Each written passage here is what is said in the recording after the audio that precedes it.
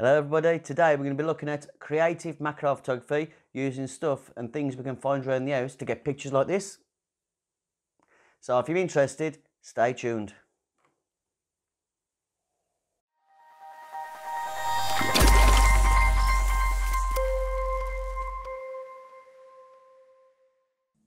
Hello and welcome back to my channel. I'm Leo. Thank you ever so much for joining me today. As you've just seen, we're going to be doing a bit of creative macro photography. It's something I really love.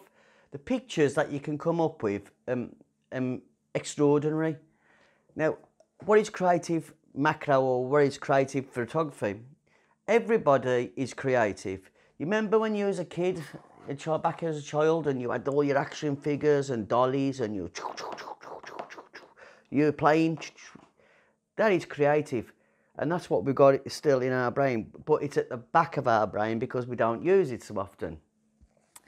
So what I do is I tend to like to represent and uh, and think out the box and play around with my photography, getting it arty arty feeling, but using something totally different to get what I want and to get the pictures I want, sort of thing creativity is what we've all got and it's a good way of keeping your brain active because we're like I says when we was all kids we always used to play with dollies and things like that and you know action figures and you know we used to come up with some creative ideas when we was a kid Lego playing with Lego and in the bath with your toys and you know and we've all still this is what we need back into photography. Well this is what I'm putting back into my photography and it's helping my mind think of other things other than the bad things that causes me anxiety.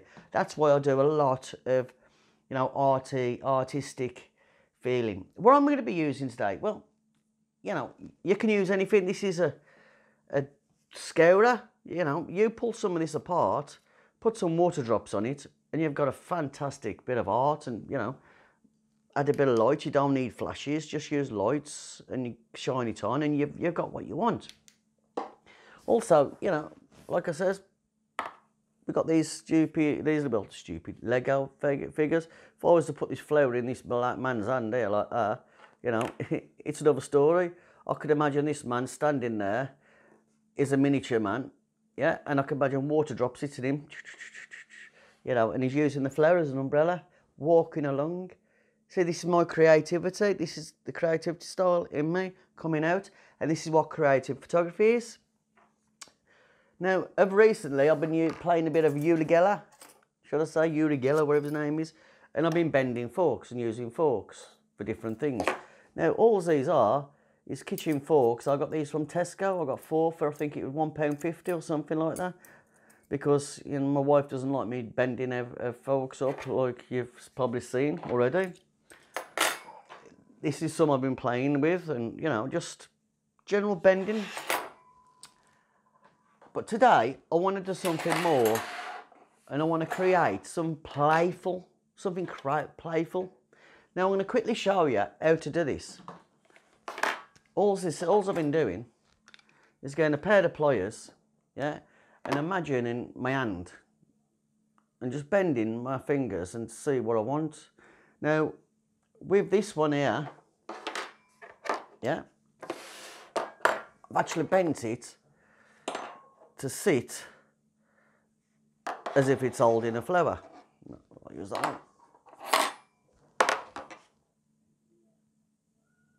Really good in, like that. So it's sort of, you know, it's bent like that. So it's like mimicking it, it mimic holding a flower. And I think that, that can give, that's a nice picture. And all it is, like I say, is a bit of Uri Geller, just get it at the end. Imagine your finger. So that's your big one. I'm just going to bend it round once.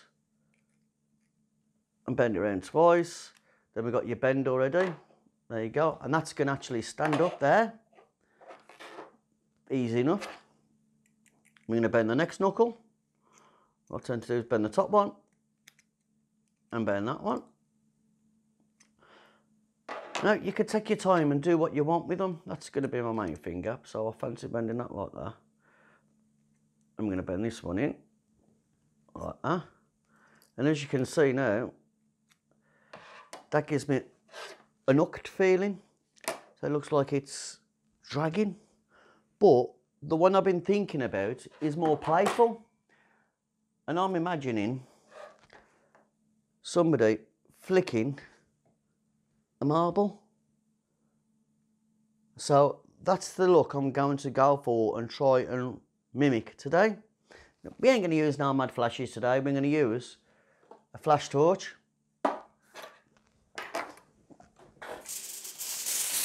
Some silver foil and some more good old backgrounds and that's all I'm going to be using today along with my Canon 7D because I can't find my 750D trigger them out. I could actually put it on timer I suppose but we'll see how we get on with that one. So there's nothing really hard about this today but it's like I said, it's using the imagination. So I think we can do it because there's lots of different pictures we can do with this. So what I'm going to do is I'm going to set my setup so you can all see it and then we'll get down to business. This setup is so simple, anybody can do it, a bit of tabletop photography. I'm going to show you what I'm going to use and why I'm going to use it and explain the differences and the benefits for it. So first thing is, I've got my foil. This is going to be my base. This is going to be a nice, dreamy looking base. It don't make no difference about the scratches or anything else or the ripples because this actually gives you the textures. The next thing is, is my trusty cards. And what I'm going to do is I'm going to get one of these cards and all I'm going to do is roll it up. The only reason I'm rolling it up is for, so it stands up. That's simple. Simple as done. And what I'm going to do is I'm going to introduce my fork as a, at an handle I like. Yeah. I'm going to pull it fairly forward because I'm going to be using a fairly high f-stop to try and get most of it in. I think it'll look better that way, should I say. Yeah. Like that. And the next thing I'm going to be using is my marble, if it don't roll away again, is my marble. And all I'm going to do is put the marble at the end of the finger to symbolise the flicker movement. And hopefully this should be all right. Now what I'm going to do is I'm going to actually have a look through now the camera to see how it looks. To be fair, looking through the camera at the minute, this is sort of what I'm after. I really am happy with it. As you can see at the bottom here, where the shadows and casting, this is absolutely perfect. Like I say, I've got the marble at the bottom there. Maybe just a little bit more because like I say, I want to simplify, simplify, simplify it being flicked. The only thing that's worrying me in a minute is the light, because it looks a bit harsh. So I'm going to have to move the light around a little bit more to get what I want. As you can see, if we add the light, a bit more light, it's getting highlights and blown out. But if I turn the light away, I'm getting a lot better feel. Now, I ain't really worried about the background because I can cut the background, I can crop the background out so I'm quite happy with how that looks, but that's the sort of shot I want to go for. And that's how easy it is to set up with our simple foil, one of my backgrounds, a fork and a marble. And that looks to me looks like a, an amazing shot and very creative. So you can see my settings as clear as day there. 140th of a second, f4.5, ISO 100. The back of the camera does not lie. That's why I always like to put my settings up. So let's take a picture and see what we get with that setup I've got.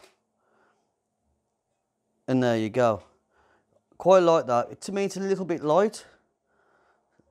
But the way I've got the light, it, it, it looks light, should I say, on the screen of my fat, where that I'm recording on.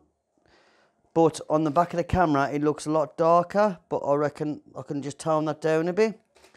But as you can see, it's absolutely beautiful. But how about now if I change one of my backgrounds and see what we get because that's with an orange. Take a quick shot, a couple more shots messing around. We never know what we're going to get. I ain't even looking at these. But now I'm going to change my background and let's see what we get. How about that dreamy feeling? Absolutely gorgeous. I love that 100%. And all that is, is one of yet again one of my backgrounds I used. They're so simple, but they're absolutely beautiful.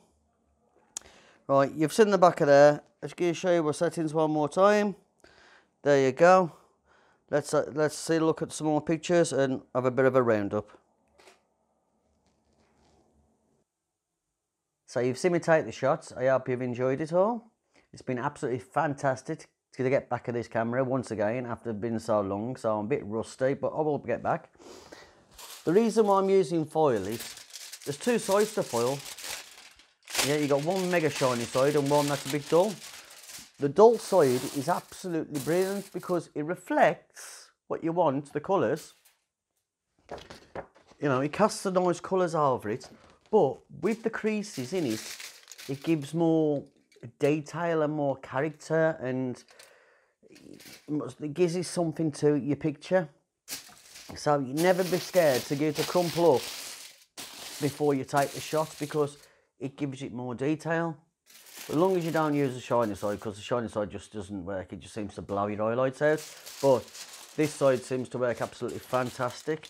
Simple things yet again, but these cards, these cards make absolutely brilliant. You know, you've seen it back of the camera. The camera don't lie. It's the settings. My settings, like I keep telling everybody, may change.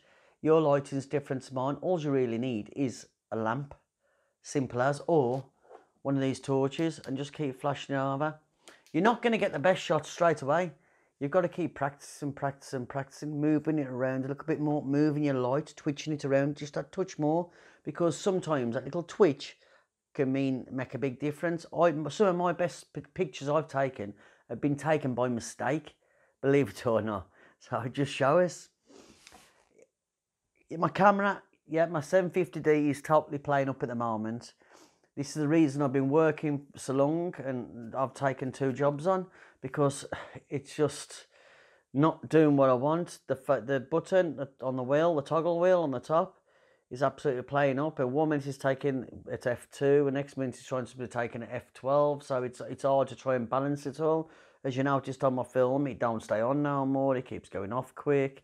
I think I've rather done it, but there again, I've been taking, I've probably taken probably a million pictures with the camera now. And I've looked after it over the years, after a few years. And it was second hand when he had it. So I've had to suddenly upgrade to a new camera. But you won't be seeing this camera because I'm still you're going to be using my 750D. The one I've bought will be filming.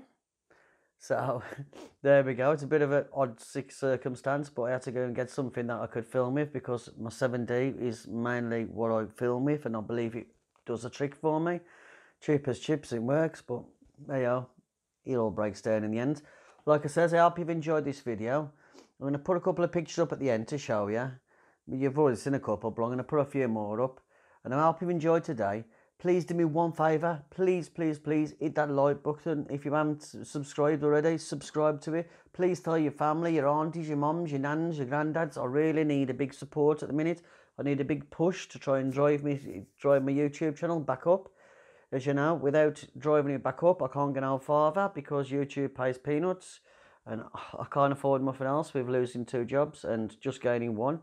So, but none of that. Forget all that. Anyway, you know what I'm going to say, don't you? Please look after yourselves. Get them cameras out. Get them dusted off. Stay safe. And until my next one, happy snapping.